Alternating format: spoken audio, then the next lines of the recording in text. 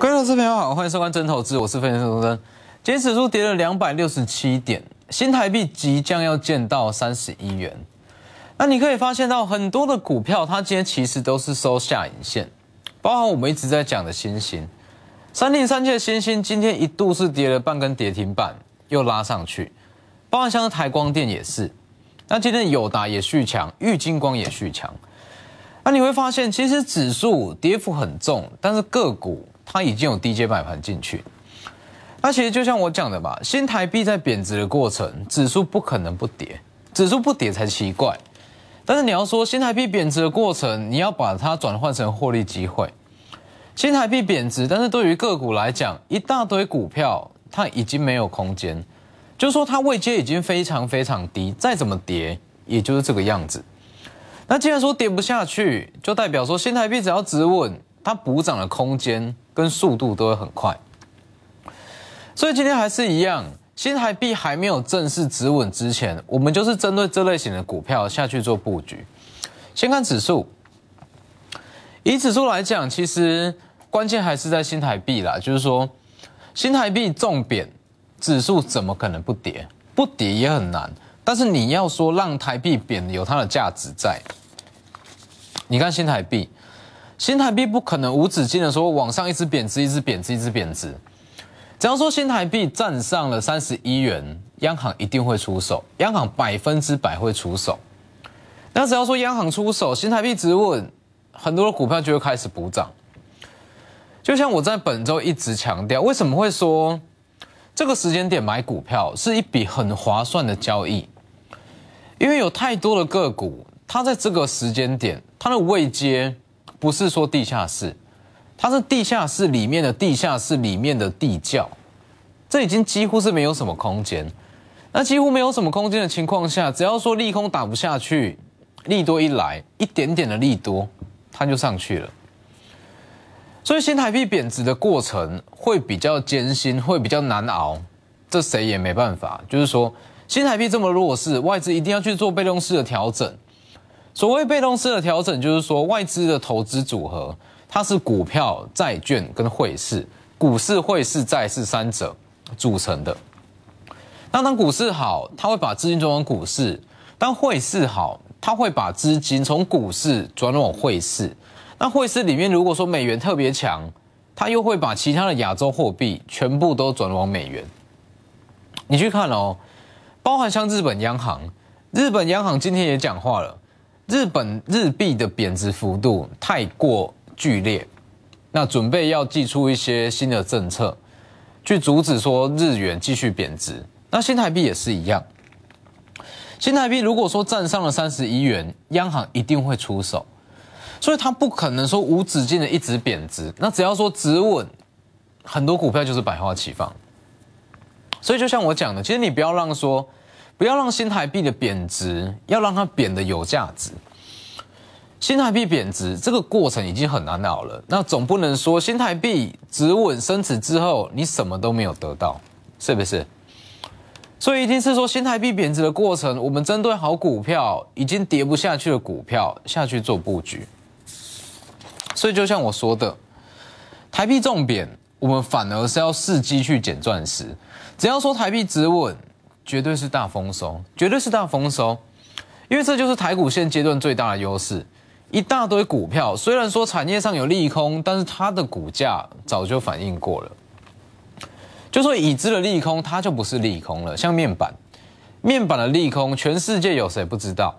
大家都知道。那既然说大家都知道面板的利空，它就跌不下去。A P F 也是，A P F 跟 P C B 也是充满了利空，但是这些利空谁不知道？全世界都知道。那既然是全世界都知道的利空，它就跌不下去。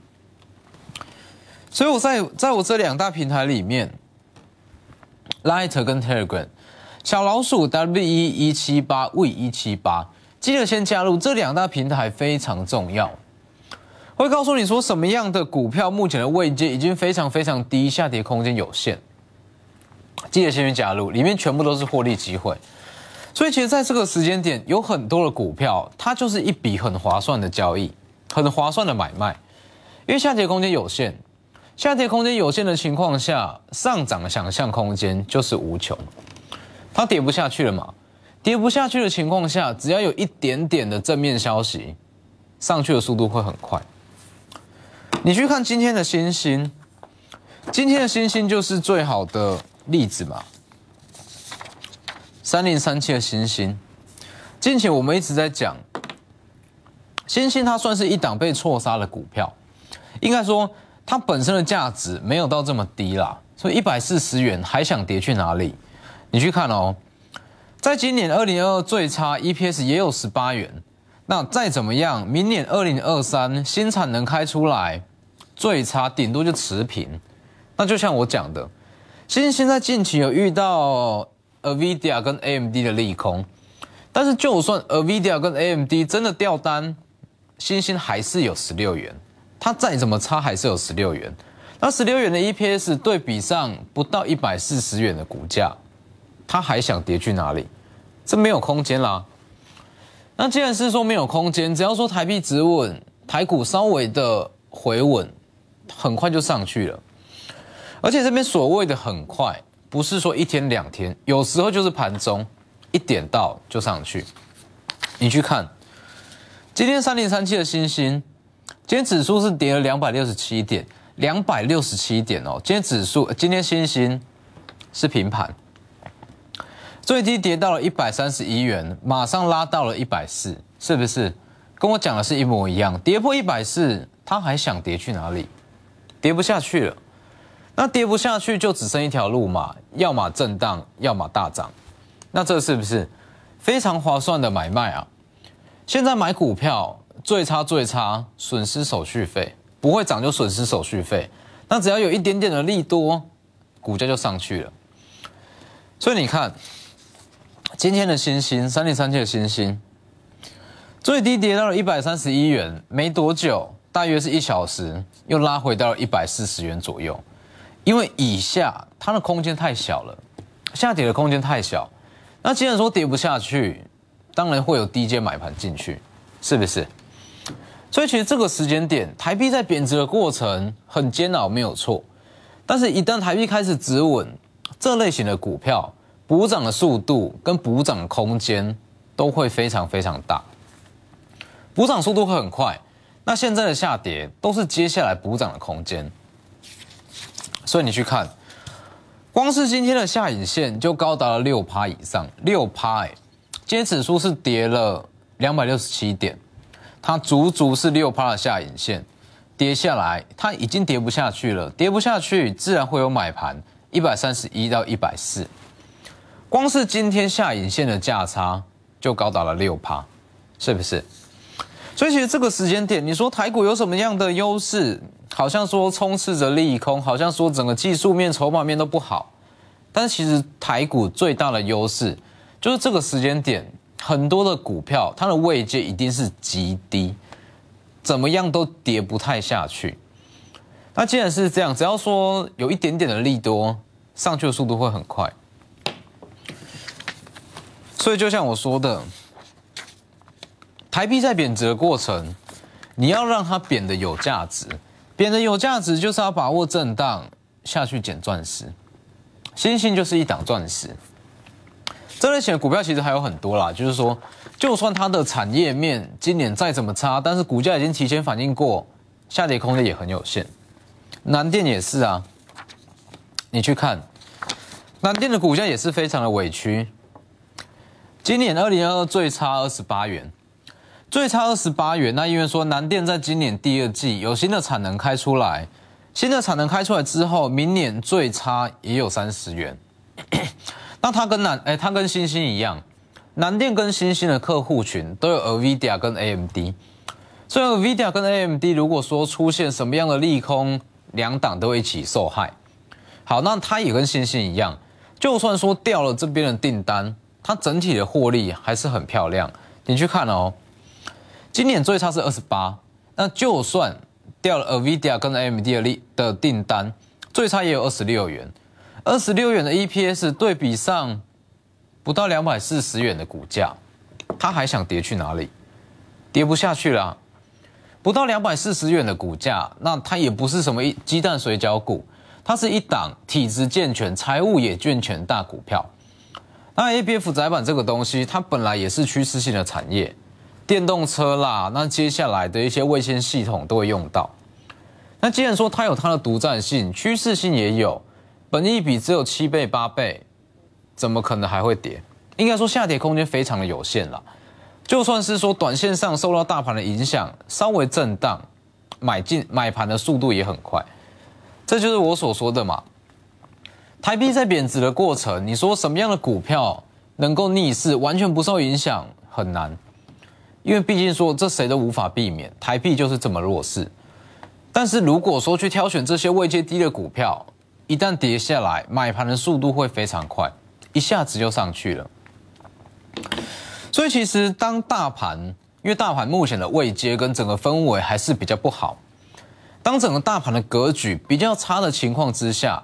反而是要去找这些已经跌无可跌的股票下去做买进，因为跌无可跌的股票，它不需要什么天大的利多，只需要一点点的正面消息，股价就会上去了。就像我讲的，其实说，当大盘在一个比较合理的多头行情、多头走势，那我们要去挑的就是最强势的股票，最挑最强势的股票去买。但是当大盘整个格局，比较不是说这么的好，那市场信心比较不足的情况下，我们去挑的反而是要是这些相对来讲下跌空间有限的股票。那像是台光电也是，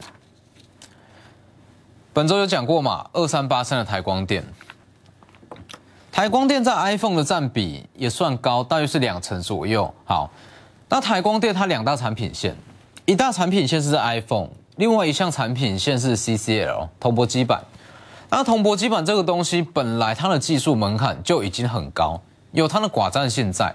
好，那台光电在铜箔基板的占比大约是四到五成左右，它的产品有它的独占性，那本身的获利也不差，怎么可能不涨？你去看，以今年来看，全年保守十六元，上看十八元。九月六号星期二有讲嘛？就昨天不到一百七的股价，他还想跌去哪里？跌不下去了。你说今年十六元，那上看十八元，那它又是铜箔基板产业，有它的门槛寡占性在，不到一百七，一百七以下还想去哪里？是不是？今天指数跌了两百六十七点，它逆势上涨了四趴以上，那就跟我讲的一样嘛。跌破了一百七十元，买买盘马上就进场，为什么？就是太便宜了。二三八上台光电，又加上说，你去看台光电今天一度是跌到了一百五十九点五，跌下来没多久，也是大约是一到两个小时左右，买盘马上进场，拉到一百七十元。因为一百七十元以下，它已经没有什么空间了。一百七十元就是地地下室的地下室里面的地窖，几乎是没有什么下修的空间。那像这类型的股票是不是很划算？买进去之后最差最差的情况，顶多就是不会动，不会动，顶多你就是损失手续费。但是只要有一点点的利多出来，它就是拉上去，这个就非常划算啊。下跌空间有限，但是上涨的想象空间是无穷。所以，包含像台光电也是，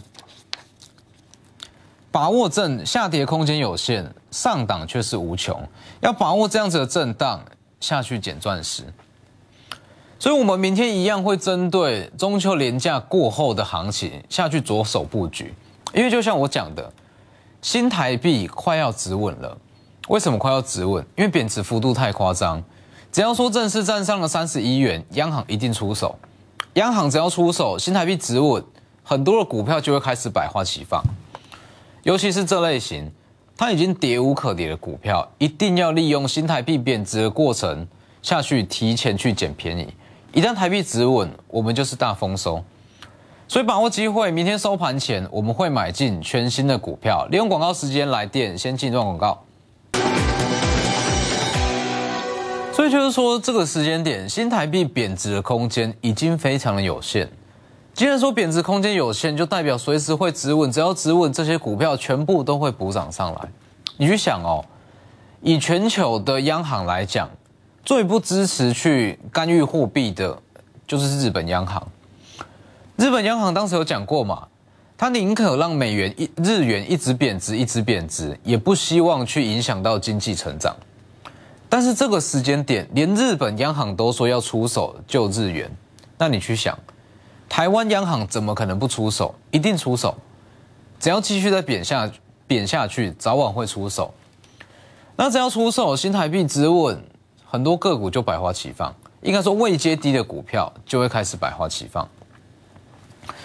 所以，在我这两大平台里面，非常重要，会告诉你说什么样的股票，这个时间点它已经低于它最基本的价值。Light 跟 Telegram 小老鼠 W E 一七八，记得先加入，里面全部都是获利机会。尤其是一些跌有一有一些跌升的股票，不是说跌下来你就要去杀低，就像星星好了，星星紧缩难电，可能说这一次跌下来，会有很多人说告诉你要去换股，要去逢低去做转换，但是你去想，不到一百四十元的星星是要换到哪里去？是不是？要换也是等到它拉到它的满足点，所以其实像这类型的股票，如果说原本是持有，这些都不用去杀低了，因为只要新台币止稳，上去速度会很快。所以你看这个位置，可以去观察一下，只要说站上三十一，看一下央行的动作，就会知道这个位置差不多会是它的天花板。那以指数也是，指数这样子的跌幅看起来很惊悚。但是其实你去对比新台币，台币看起来更惊悚。就是说，台币这样子的贬法，指数不可能不跌啦。但是你要让台币贬得有价值，总不能说啊贬值就算了。既然贬值了，我们就要从中去找到获利机会，否则不就白贬了？是不是？所以就是新台币贬值，这已经是事实，但是不能让它贬得没有价值。所以，关于说因为新台币贬值而被误杀的好股票，这个时间点全部都是买点，而且它是一笔很划算的买卖。下跌空间有限，上涨的想象空间却是无穷。一百四的行星跌不下去了，今天马上就有买盘。二三八三台光电也是。那其实说整个 PCB 厂当时有讲过，新台币重贬。对于整个 PCB 厂来讲，它是利多，因为大部分的 PCB 厂它的毛利率都不高，那毛利都不高的情况下，只要说新台币贬值的幅度够大，对于这些 PCB 厂，它的净利都会提升。以新台币这两周的贬值幅度来看，PCB 厂的净利大概是可以提升三到五趴，哎，净利提升三到五趴是一件非常了不起的事。所以是不是往上拉？这也是啊，一百七十元以下买进。今天就算指数跌了两百六十七点，还是上涨了四趴，是不是？轻松就是四趴，而且这是风险非常非常低的四趴，因为一百七以下它就跌不下去。全点十六上看十八，又是铜箔基板，又是寡占性的产业，低于一百七还想去哪里？那包含像是玉金光也是，三四零六的玉金光，近期近两周大盘不好，玉金光还是一直在逆势涨。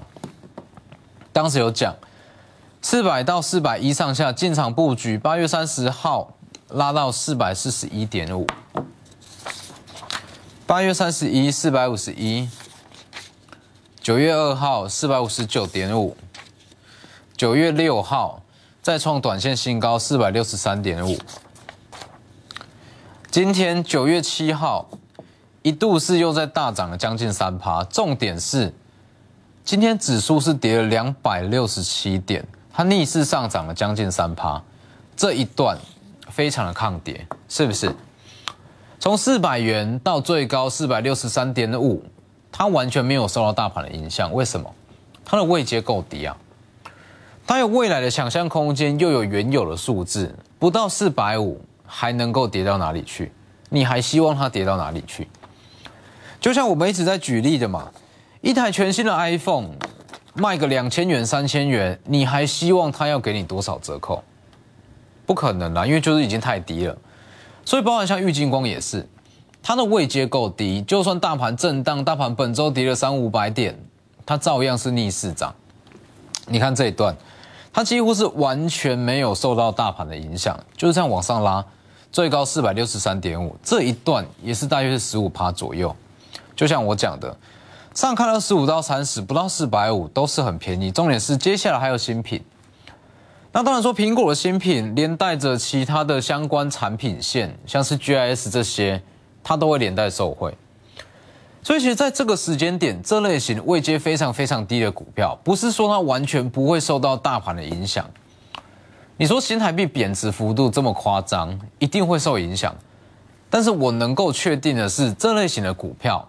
它目前的位阶就是在地下室的地下室里面的地窖。我能够确定说，它震荡之后一定会有买盘进场。新兴台光电就是最好的例子，包含像友达也是，看空了一年，前一周突然讲，马讲完马上往上拉，一样是逆势大盘在涨，上周继续涨，本周一九月五号十七点四五。九月六号十七点七，今天指数是跌了两百六十七点，相对强势。这样子的走势虽然不是说最强，但是它是一档有达，它是一档股本将近千亿的友达，而且今天指本周指数是非常疲弱，相对来讲它还是往上涨，因为它的基期就是已经非常低了嘛。就算说昨天有三星的利空，因为昨天三星说第四季可能会。面板的订单会往下修，面板出货会下修，这对于它来讲也是利空，但是还是逆势涨。那就像我讲的，这类型的股票它已经跌无可跌，跌无可跌。第一不怕利空，第二只要有一点点的正面消息，股价上去的速度会非常快。所以这个时间点预计明天买盘还是会比较清淡，毕竟新台币还是弱，节前还是会有卖压。但是这刚好会形成一个非常好的切入点。那我们就是针对这类型的股票，它已经跌无可跌，几乎没有什么空间的股票，利用新台币贬值的过程进场去布局。因为不要让新台币的贬值没有价值。既然新台币都贬了，就要让它贬得有价值。明天我们买进的股票，主要就是看好中秋连假过后的行情。那我们买进的股票都是这类型，已经跌无可跌。非常划算的买卖，所以把握这样子的机会，台币重贬就是要去捡钻石，只要台币止稳，我们就是大丰收。因为股价已经提前反应过利空，下跌有限，上档无穷，把握震荡，一定要去捡钻石。直接来电或私讯我两大平台，谢各位。